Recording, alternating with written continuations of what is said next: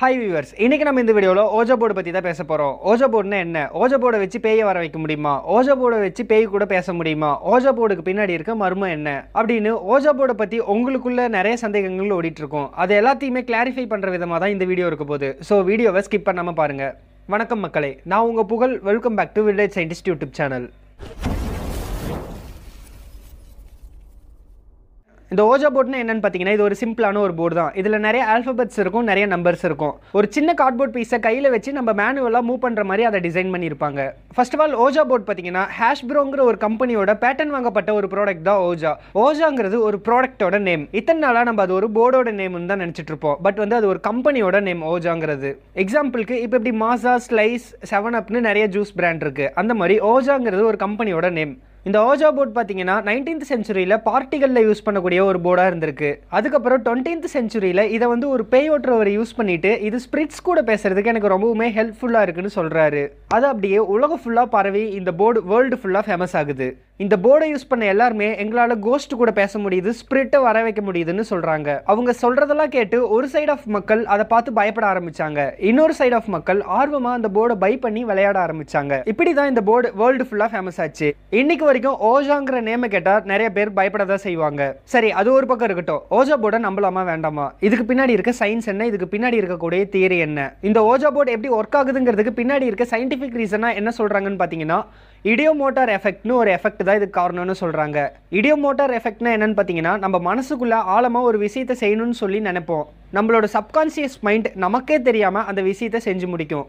For எக்ஸாம்பிளுக்கு இதை நீங்கள் நிறைய பேர் ஃபீல் பண்ணியிருப்பீங்க. நம்ம ஒரு பாட்டை பாடணும்னு சொல்லி மனசுக்குள்ளே ஆழமாக நினைப்போம். அதே பாட்டை நம்ம ஃப்ரெண்டு பாடிட்டு இருப்போம்.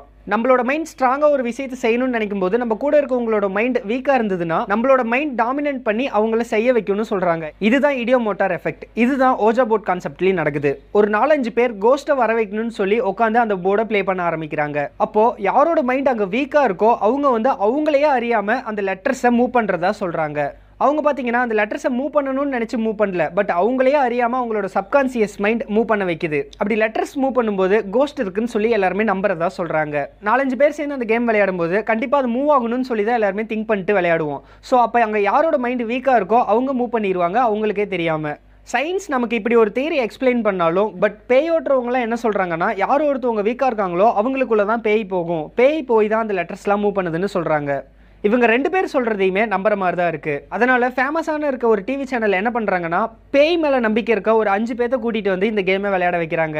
எப்படி விளையாட வைக்கிறாங்கன்னா அவங்க கண்களை கட்டிட்டு விளையாட வைக்கிறாங்க. ஸோ கண்ணை கட்டிட்டு அவங்க அந்த கேமை விளையாடும் போது அந்த கேமில் அவங்க தப்பு தப்பாக ஆன்சர் பண்ண ஆரம்பிக்கிறாங்க. ஃபார் எக்ஸாம்பிளுக்கு ஹியூமன் இருக்கா இல்லையான்னு சொல்லி கேட்கும்போது அவங்க நோன் கொண்டு போய் நிறுத்துறாங்க. கோஸ்ட் உண்மையிலே இருந்தால் கண்டிப்பாக அங்கே எஸ்ன்னு தானே போய் நிறுத்தியிருக்கணும். அது மட்டும் இல்லாமல் லெட்டர்ஸ் இல்லாத இடத்துலையும் நிறுத்த ஆரம்பிக்கிறாங்க.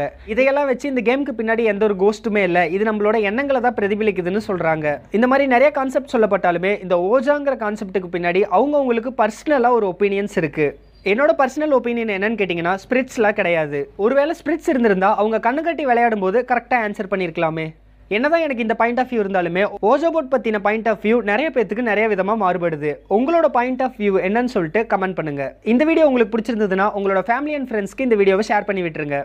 நெக்ஸ்ட் வீடியோவில் என்ன டாப்பிக்கை பற்றி பேசலாம்னு சொல்லிட்டு மறக்காமல் கமெண்ட் பண்ணுங்கள் இதே மாதிரி இன்ட்ரெஸ்டிங்கான கண்டென்ட்டோட நெக்ஸ்ட் வீடியோவில் சந்திக்கலாம். Tata bye by